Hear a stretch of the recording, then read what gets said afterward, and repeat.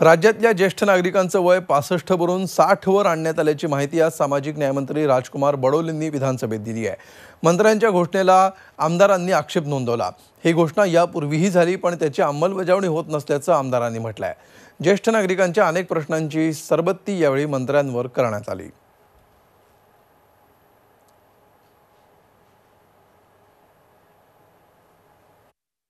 तर या संदर्भामध्ये आता जे ज्येष्ठ नागरिकांच्या अंमलबजावणीच्या संदर्भातलं जे सर्व समावेशक धोरण राज्यानं घोषित केलेलं आहे आणि त्याच्या अंमलबजावणीच्या संदर्भातल्या सर्व.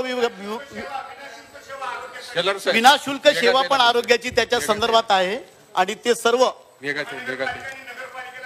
संपूर्ण राज्यामध्ये या ज्येष्ठ नागरिकाच्या धोरणाच्या अंमलबजावणीच्या संदर्भातली कार्यवाही करण्यात येईल. संपूर्ण राज्यात.